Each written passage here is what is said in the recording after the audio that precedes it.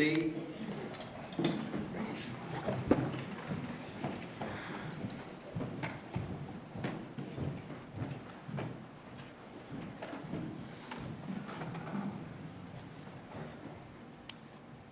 evening, ladies and gentlemen. This year's Optimist Speech contest topic is cyber communication. Progress or problem? Two words. I'm okay.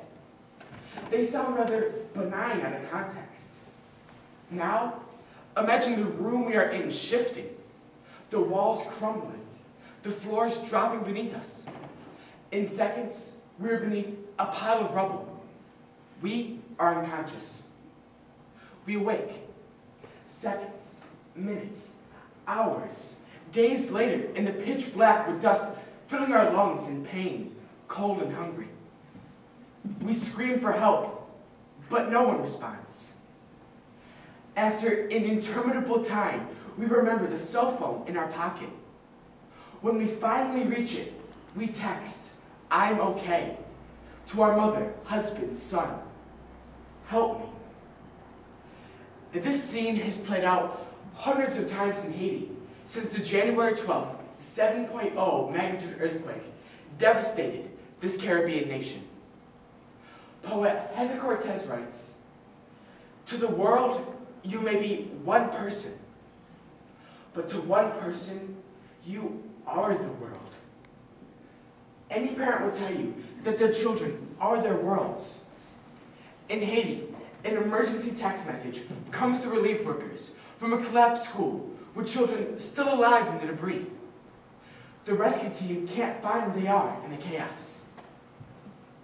Then, almost 2,000 miles away in Boston, a group of volunteers electronically pinpoints the source of the text, and they tweet the information back to Haiti.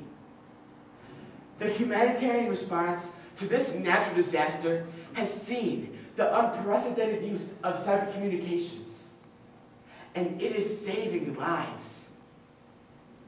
Rob Munro from Stanford specializes in methods to manage and process text messages.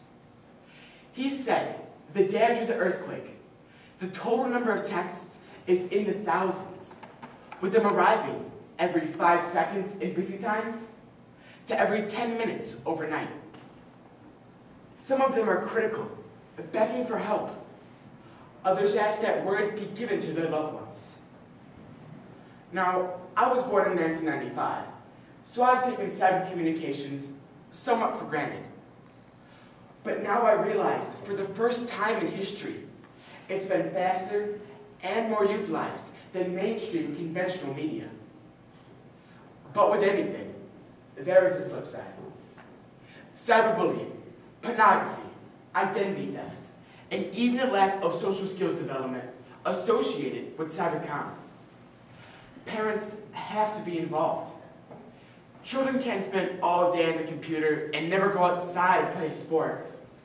If all I did was text and communicate online, I would never learn how to talk face-to-face -face with someone, which is critical for job interviews, public speaking engagements, and life in general. This is why cyber communications has to be one form to communicate, not the only way to. Former IBM chairman Louis Gerstner once said, Computers are magnificent tools for the realization of our dreams. But no machine can replace the human spark of spirit, compassion, love, and understanding. All anyone has to do is look at the situation in Haiti alone to see that cyber communications is hands down progress. Instant communications to the medical field, government, disaster relief is progress. A church in Dorado, New York sent missionaries to build an orphanage in Haiti, and they landed just hours before the quake. After 24 grueling hours of worry, one member was able to connect back home. They sent a two-word text.